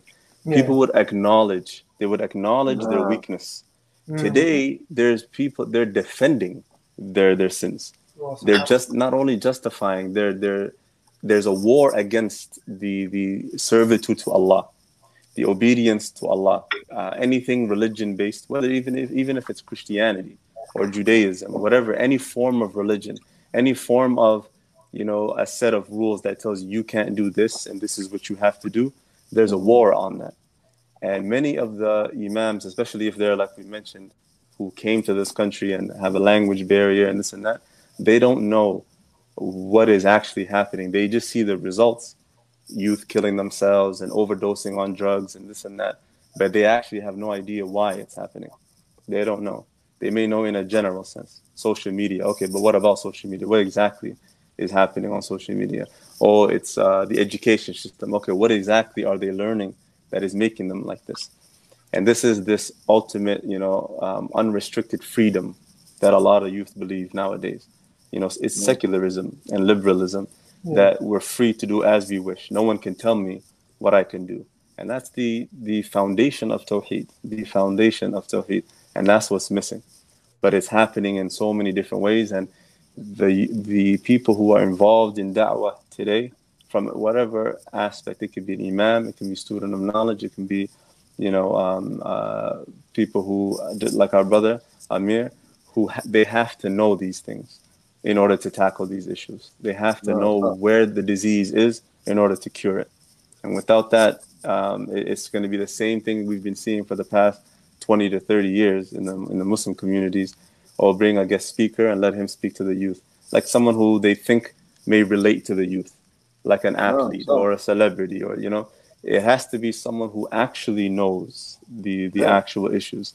It can't just be they know the youth uh, like basketball, so let me bring this basketball player to help speak to them Absolutely. about drugs and that stuff will work maybe for that day. But it's not going to be the thing that guides the youth. It's not going to be the thing that makes them go back to their deen and realize the significance and importance of their deen um, we have that issue especially in the city of toronto um, is a lot very similar to minnesota minneapolis where a lot of the youth are involved in drugs overdosing dying at the age of 17 18 19 it's like an epidemic, huge problem with that, and drug, you know, gang life and street life and these types of things. But a lot of it stems from a lot of these things. This belief that I'm free to do what I want, and you know, the home is broken, and there's so many different layers. But the people who would you would expect, or or the parents, for example, are looking to to solve these issues are people who actually have no idea what it, what is what is happening to the youth and that's what that's what's required. So the, the brothers, especially the brothers who are around my age, relative who studied abroad and come back and grew up in these societies, they have to educate themselves on these things, on the, yeah. the, the, the, actual issues with the youth today, and what is the the underlying issue, not just the result. And okay, drugs are bad, shooting your brother in Islam is bad. They already know that, but what is the core issue that that is leading the youth to this? And um, that is what that is what has to be tackled now. It's not sufficient yeah. to just know Sahih al-Bukhari and be a Hafid Quran yeah, anyway. That's not it's not sufficient. Well, even to that point, there's not many. Even if even for that from that aspect, even in terms of knowledge, there's a big uh, deficiency because of course yeah. they find a few centers which are active in knowledge. Mm-hmm. And then others are not. So even that that, that ability to, for example, to teach even the deen, yeah, benefit from your locality in terms of knowledge yeah. Even that is almost non-existent. 100%, 100% yeah. That is almost non-existent. So, Uh, you were going to do something, Amir. Yeah. Huh? Were you going to say something? Oh, yeah, no, I was just going to say I agree with the brother, and I definitely believe that it takes a lot more cooperation. Yeah. You know what I'm saying? It takes a lot more cooperation. And that's another thing that I see you know, has been, you know, a lot of negligence in that matter, so to say. Mm-hmm. And, you know, the thing is, we've raised the status of those who are entrusted yeah. with benefiting the people with the knowledge that they acquired from sitting with the scholars. We've mm-hmm. raised you know, the status of the imams. But you, you hear it even from the youth, like, you know, they ask the imam. Yeah. It's like they don't even want to engage yeah. in anything. Yeah, in a discussion, yeah. The, you know what I'm saying? It's yeah, like, yeah. Oh, why you asking me? Asking Mm. me. Yeah, yeah. So, and not only that, because of the people subjecting themselves to these brothers who have been entrusted with these responsibilities, Mhm. it becomes very burdensome for them as well. You know what I mean? They're yeah. not protecting because it's like Um, it could be a fitna for them. yeah, So definitely. you actually start believing hmm Yeah, that you, you know, you come home from studying, you're the savior of the community. Yeah, no, no, no, yeah, yeah, yeah. That could be a fitna for you, Big time. Yeah. or also can be a burden for you to Mhm. where it's weighing on you so heavy. Yeah. You know what I'm saying? And you know, you can turn to the early man, you Mhm. know, and ask, you know, for advice and so on and so forth. But Mhm. the implementation still remains weighty Um, because yeah, the early Mhm. man are not here of course. to Yeah. assist you in implementing Yeah. Def- what's exactly. needed. You know, Yeah. so like you said, there's a whole another additional education that Mhm. has to be, you know, has to run simultaneous Mhm. with the beneficial knowledge that's sought from the Quran and Sunnah. Mhm. And I think that when we dig more into the lives, the lives of the companions, Mhm. you know what I'm saying, and busy ourselves with that, and I'm gonna tell you why. Mhm. Because a lot of the, the young communities I go to, especially the ones that have madrasas and stuff like that, Mhm. I always do like the Sahaba challenge. Yeah. I say, oh, name 10 companions, Mhm. minus the four rightly guided khulafa, and minus the Bashar Ashra. Ah, And they- yeah. everybody get quiet, right? So, oh, man. Yeah. I do this purposely because I know what happens at that very moment Mhm. is everyone feels like they're being tested with coming up with 10 on their own. Mhm. So you get that little quiet moment because it's like, Yeah. man, Mhm. he done took Omar, Abu will he done took, he Uh, done took, all that, out, he yeah. done took, you know what I'm saying, before that was granted. Mhm. So, but then I said, no, no, no, no, no. Y'all gonna figure this out together. Mhm. And when I do that, wallahi, I- they come up with 25, 30. Yeah, easy. mashallah. Yeah. You know what yeah. I'm saying? So I do this because I try to get into the headspace Yeah. of how the youth think. Mm-hmm. And it comes with a lot of the burdens that come with so much information. They got so Yeah. much access, so much information. It's very hard for them to make their mind up.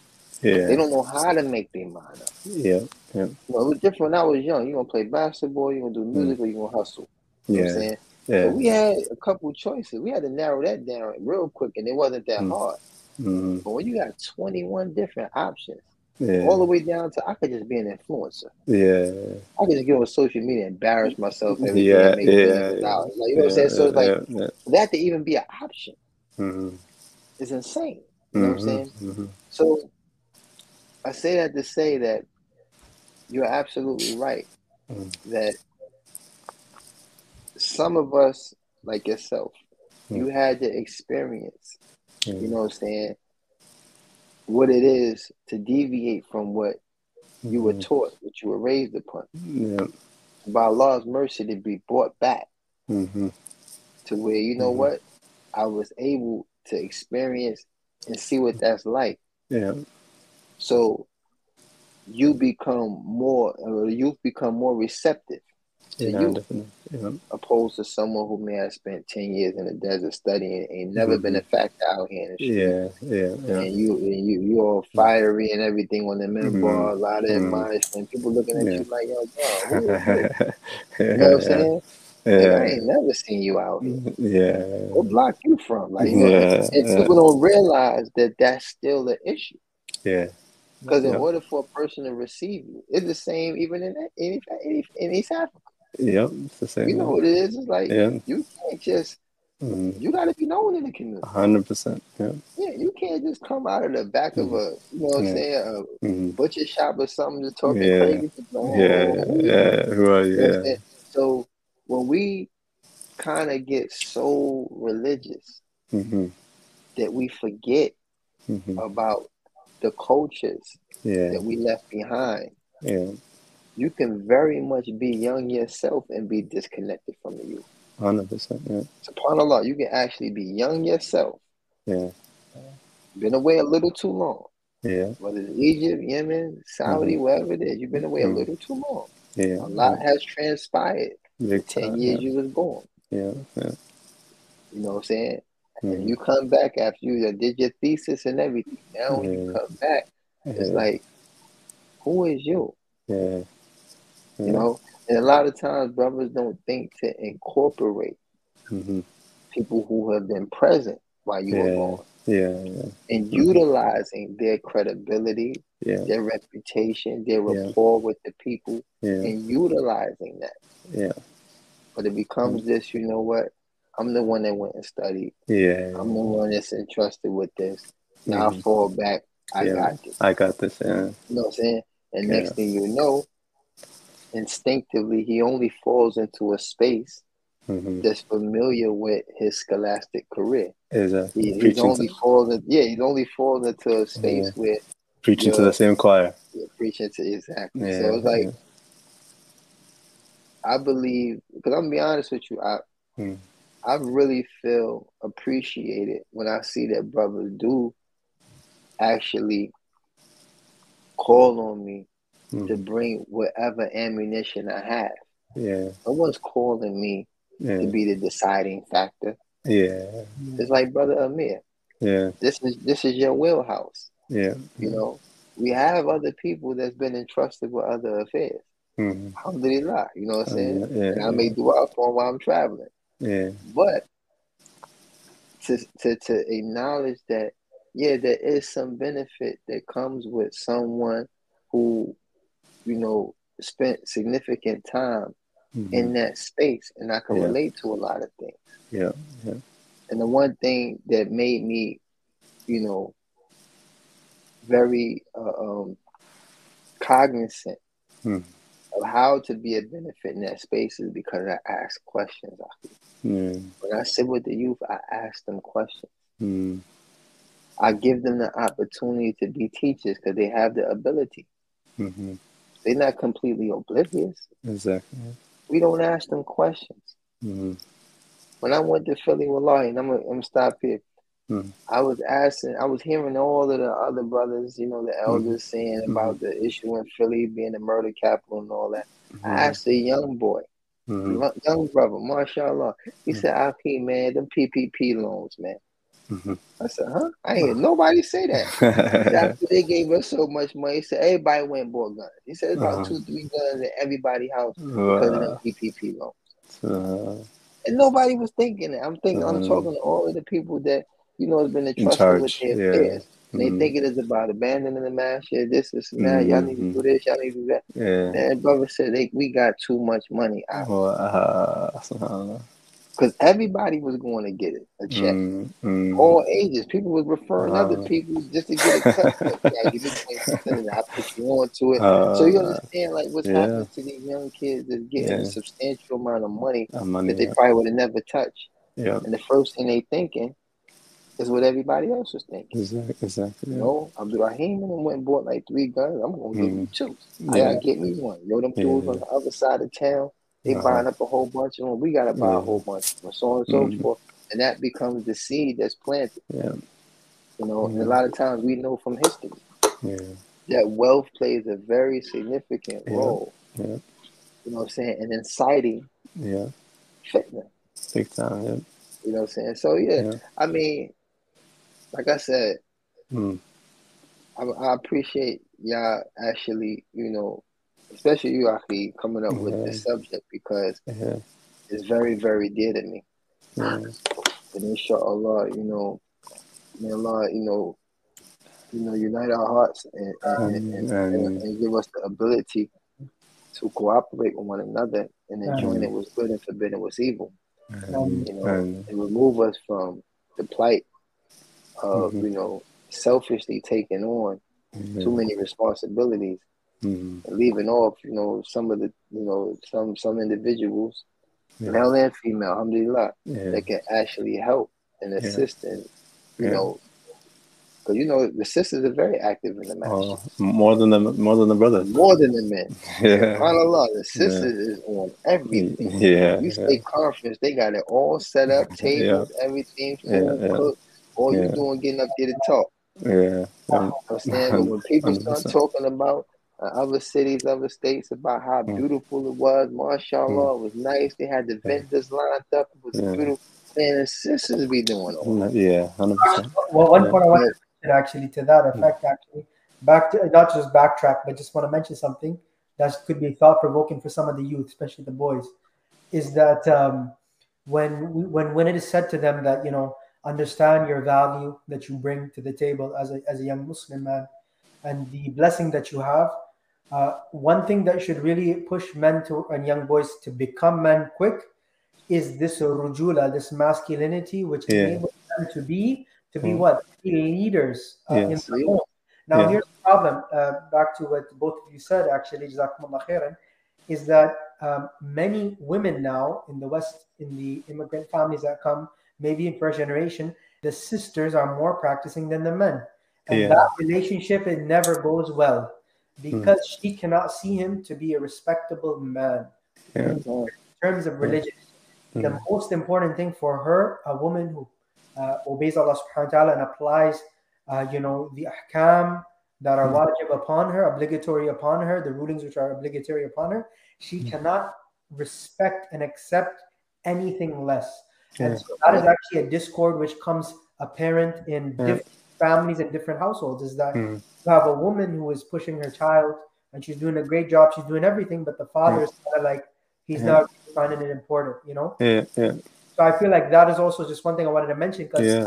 That's true. you know we we give it to the sisters a lot, and you know, mashallah, you Mhm. guys mentioned important points where we uh, praise them for the good work that they do. hmm The thing is that uh, the men got to step it up too, you know. because Yes, yes, definitely. definitely gotta step it up, man. Because Mm. the, the, the thing with the sisters, they're forced to pick from the litter. Yeah. Yeah, yeah, That's what yeah. that is. You know, because it's like I gotta. Okay, you know what? You know, Ahmed Mm. prays, but he hangs out late. You know what? Mm. It's like they gotta pick through. You know, yeah, what the virtue remnants. still remains Yeah, yeah.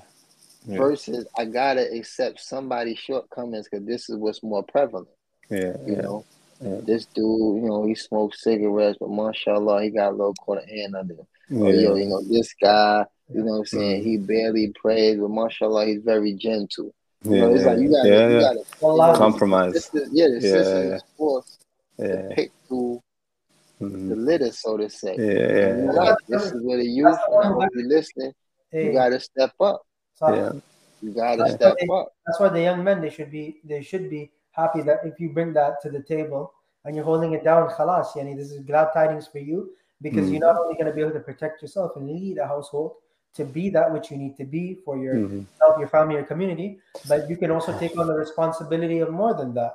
You can mm-hmm. handle more if you can handle it under your belt. Yeah, yeah. That's the lives of Ajal upon you. Yeah, mm-hmm. yeah, that's correct. Yeah. And one thing I do want to say about the sisters you know, which I noticed is an issue with this generation, Mhm. is when it comes to the affair of marriage. Mhm.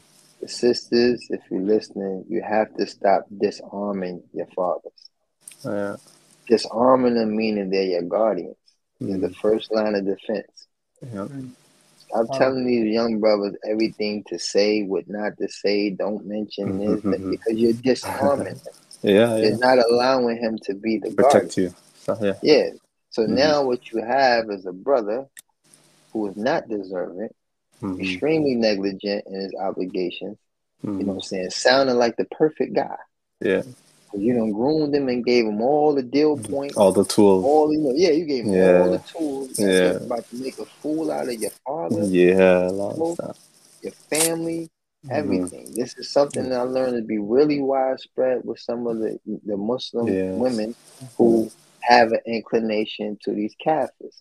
What Yes. happens is you get these guys that take Shahada, they don't know Mm. Aleph at Tat, but you Mm. tell them everything to do Yeah. The Jalsa. you know, yeah, exactly. Yeah, so, you know, and these are the things that I've learned, you know what I'm Mhm. saying, on my travels outside of the affairs of the young the young brothers is that the mm-hmm. sisters as well is Yeah. finding themselves, and this is how they're acting upon their inclination to the to, to the mm-hmm. Yeah. Uh-huh. subhanallah.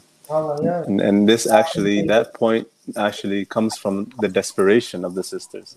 When you say the, the, the desperation of what they have to choose from, so they have to prop they have to prop that one up just so she can get married.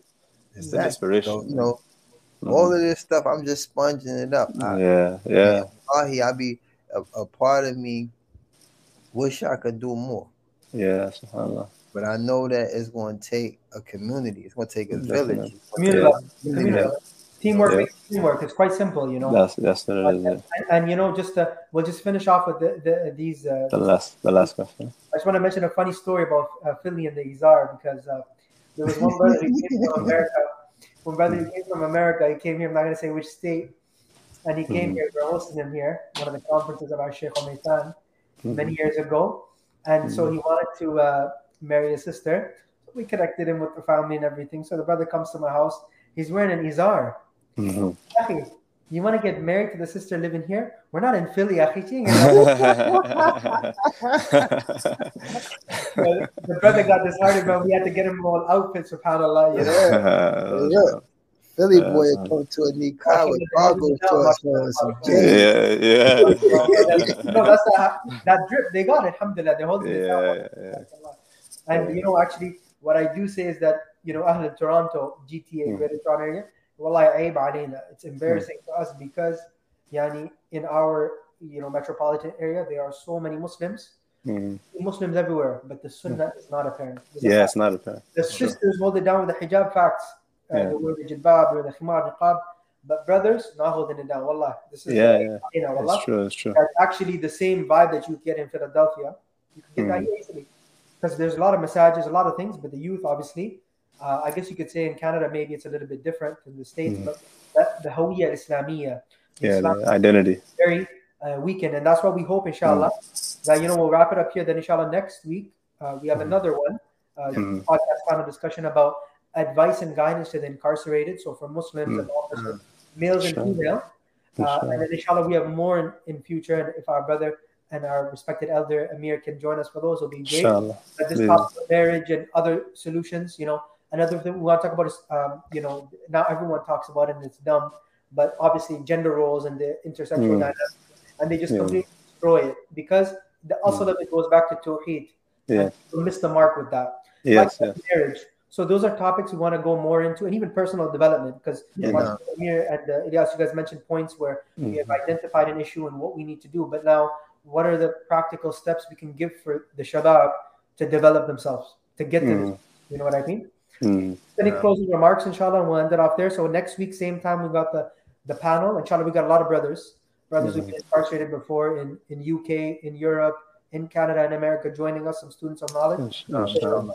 So, so uh, Amir, you can end off remarks, and Ilyas, and we cut it, inshallah. Inshallah. Inshallah, I just, I just want to ask Allah to make you know make you know place barakah in this and, and, all our efforts, inshallah. Inshallah. You know, and make this heavy on our scale of good deeds. We have to stand before Allah subhanahu wa ta'ala. And ask Allah, you know, to keep our hearts united and keep us in communication, inshallah.